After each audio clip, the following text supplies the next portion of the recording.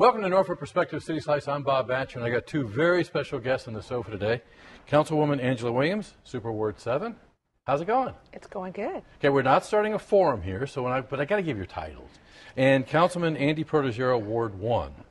How's it going? Doing well, thank you. Good having you guys on the sofa. Some have been on the sofa before, others, new time. First time for everything. I know it. I'm looking, it, and there, there will be a second, I promise, even before we have our, our conversation. How's that? That's fine. Well, I want to talk to you about what could be a very serious topic, and that's called the Mayor's Commission on Poverty Reduction. I, I notice it doesn't stop with just the Mayor's Commission on Poverty. So you're not studying it, are you? No, I think that we can't. It'd be great if we could eradicate it totally, but I think the understanding, and as the mayor gave us our uh, marching orders, was it was t- to be realistic, and to be realistic, it would be reduction and not eradication. So that's why it has that title. Okay, so it's natural to say, okay, we have poverty in our community, as all communities do. It's not, it's not unique just to Norfolk. So let's have a commission. What do you see as the purpose of this commission? I think the purpose the purpose is to examine why we have poverty, what things that we have in our city that contribute to poverty, and look at how we can um, reduce that. How can we move the needle? We have a lot of great assets in the city. We had a we have a lot of great programs in the city, um, but we still have a lot of poverty in the city. So one of the things that we're looking at is how do we how do we put people together with the assets that we have to help them to reduce the poverty and better their their their lifestyle, better you know, better their income, better their education, so that they can move out of poverty into a better lifestyle. Right. Now, I've looked over the list. I'm not going to ask you who's on the commission because that would be cruel. I've looked over the list, and I got to tell you, it is a blue ribbon committee of people that know the topic. Well, I think that the way you would look at it, Bob, it's really a cross section of um, of our society as a whole.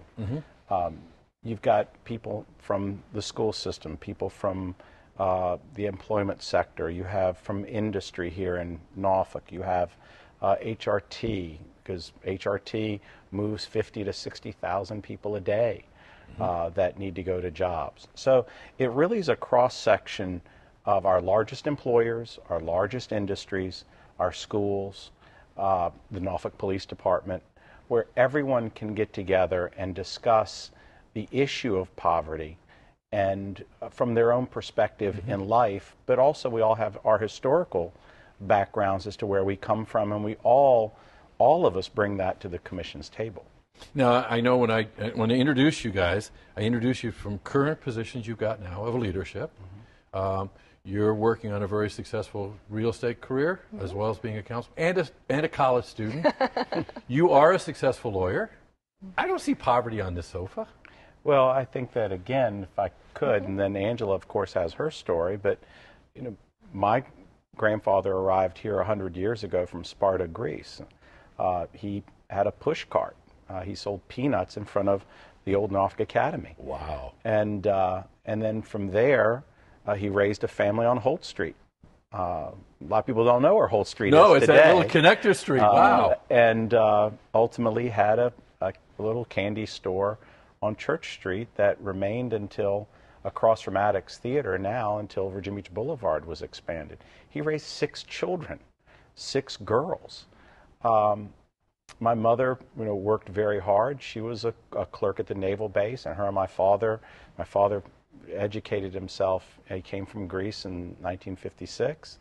Uh, we didn't have a lot, and they worked hard to be able to get me educated, and that was really their main focus upon arriving here in the early 1900s was educating me.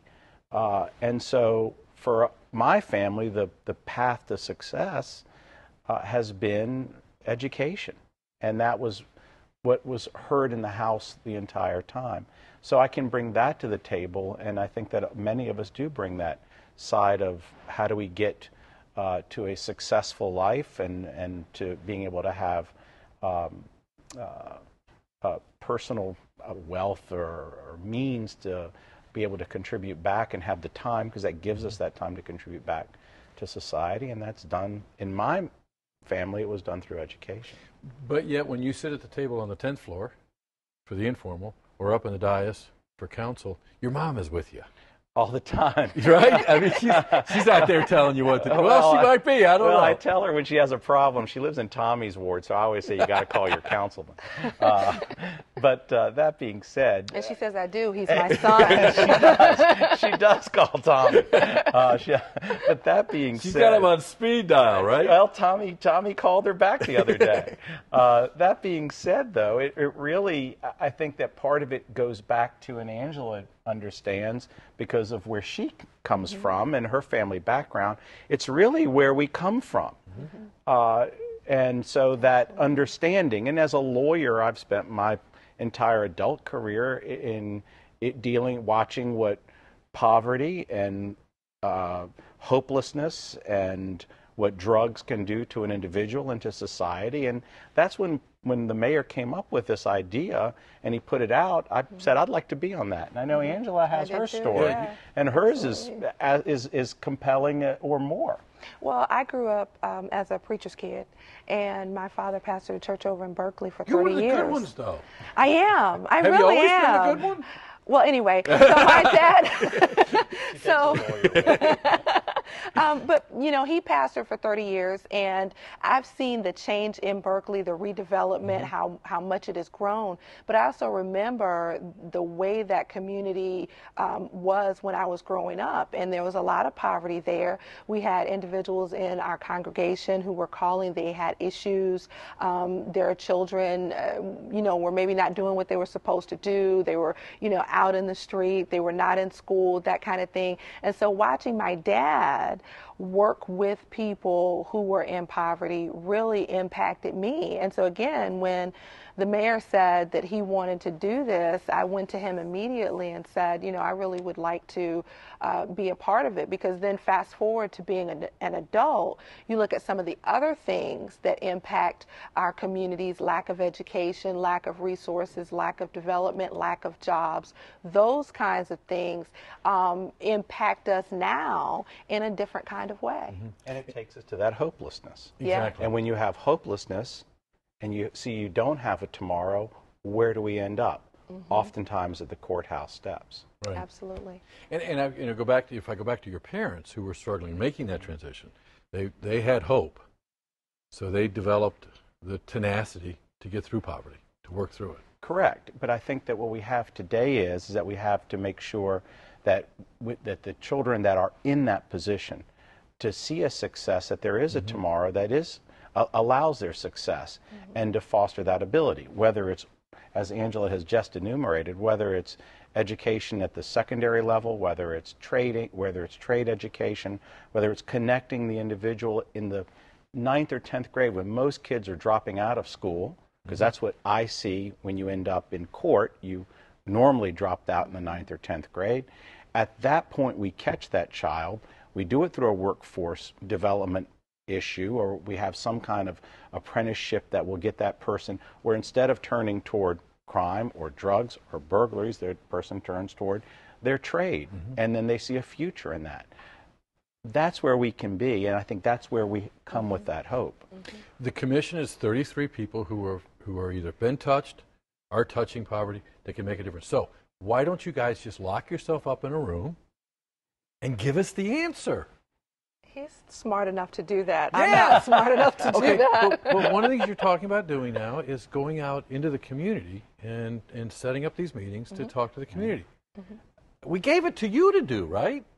Well, you know what? I'll tell you. When we had our first meeting, one of the things that I said to the committee members is this is not a meeting for us to come and lecture you.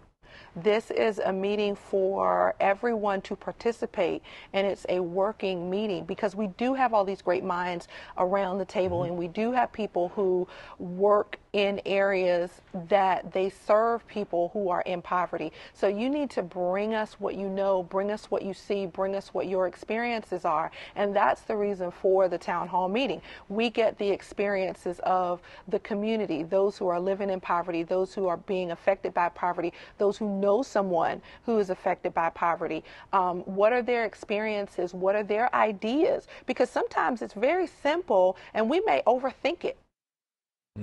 We're capable of doing that. And wouldn't it be cool? We go from 33 to have several hundred, and I know we're going to, we're putting those meetings together as we speak. So pay attention to the website, and we'll have those dates out there. But to layer those 33 thoughts with maybe a couple of hundred people, who could come to the table maybe with some engagement and solutions. Well, I think that keep in mind this is a democracy. Uh, we haven't forgotten that, and though it's a representative democracy, it's really one of the people. So if if we don't get the feedback or the understanding of where people are today, not perhaps not the push cart in front of Norfolk Academy, perhaps not the the person who clerked uh, at the naval base, but if we get more than that, uh, or the self-made person that's motivated. There are other stories out there. There's other paths to beating this, and so that's what I think that we all need because there's maybe 30 or 33 in the room, but there's thousands of ideas that can that can help solve or at least reduce, as we said at the beginning, what we're doing and reduce poverty. So it really takes all of us. That's right. Well, thank you for stepping up to the plate and Yeah, doing this. And um, I'm going to have you back on the sofa to kind of do an update. I told you. You get, you get another talk about it. Say hi to your mom. Thank you. I will. And what was Tommy's cell number? we won't put that out just yet. I think it's on the website. there we It is on the go. website. Thanks a lot. You're welcome. Thank you. on. Thanks for joining us.